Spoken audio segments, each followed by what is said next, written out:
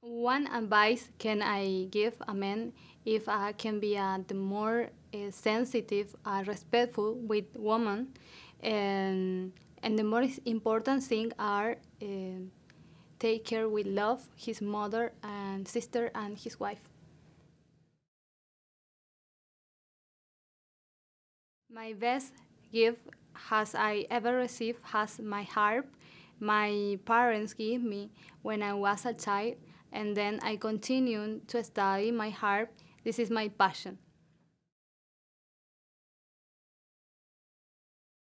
Fortunately, I never, never have a bad day.